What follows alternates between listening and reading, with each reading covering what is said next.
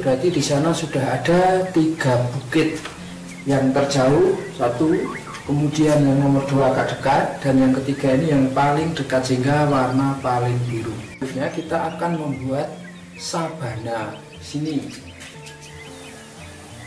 Sabana menggunakan warna kuning dan warna biru. Kita akan mencampur menjadi lebih muda, hijau, lebih muda, hijau tua dan selanjutnya.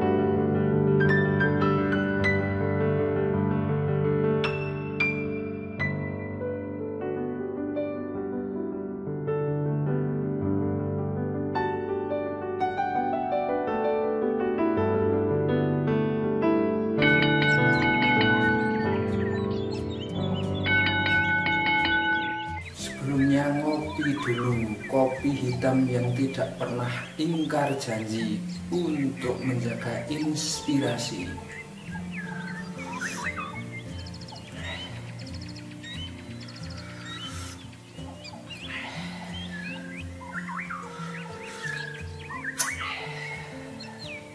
Untuk membuat langit-langit atau mega atau kabut di sini, kita menggunakan warna putih dan warna hitam. Warna hitam untuk menghasilkan warna kelabu.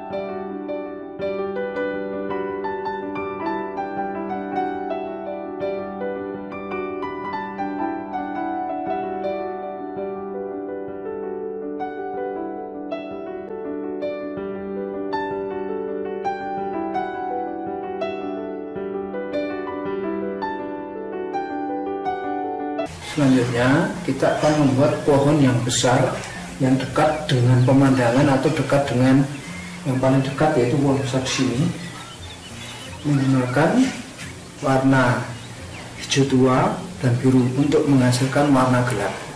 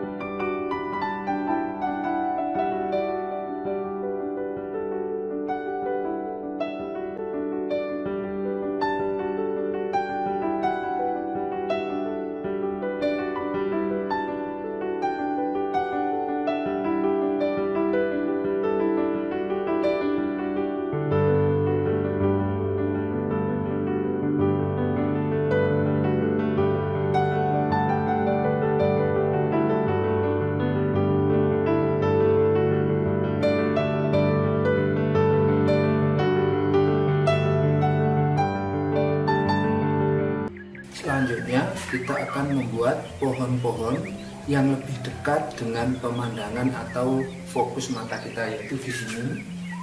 Nah dengan menggunakan akrilik warna hijau tua. Dengan menggunakan kuas ukuran 1 cm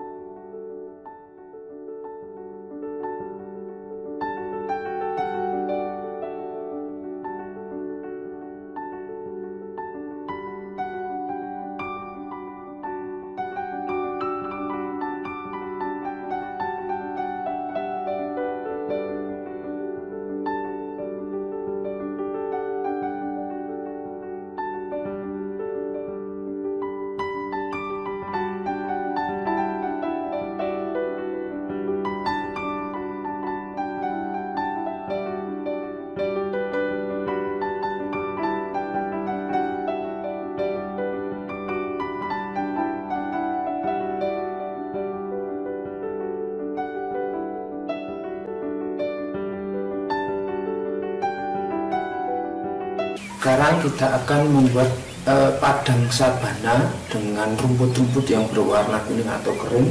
Mulai dari sini, set, kita kemudian dibentuk.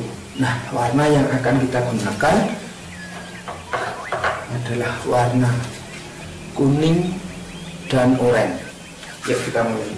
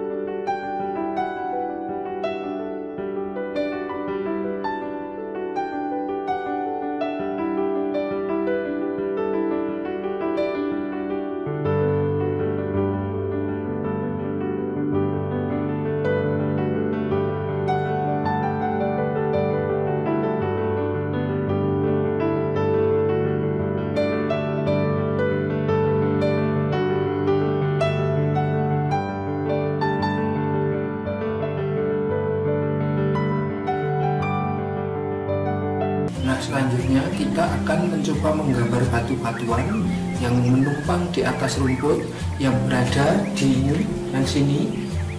Lebih mudah kita akan menggunakan warna putih terlebih dahulu. Akan membentuk sketsa atau pola pada batu yang sudah berwarna putih ini menggunakan teknik kubistik yaitu membentuk pola-pola menyerupai kubus sehingga nanti akan terbentuk sebuah benda. Kita akan menggunakan pensil terlebih dahulu.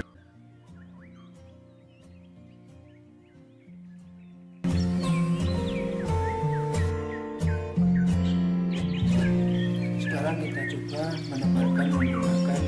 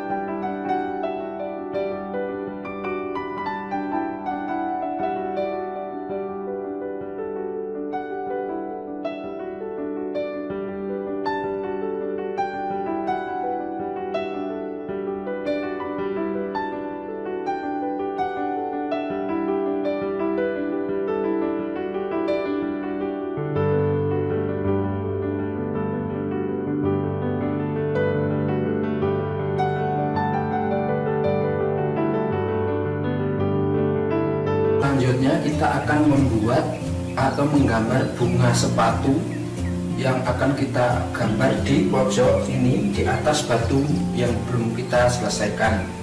Nah, sketsa akan kita buat menggunakan board maker. Oke, di sini kita akan menggambar bunga sepatu menggunakan warna merah, pink, dan putih.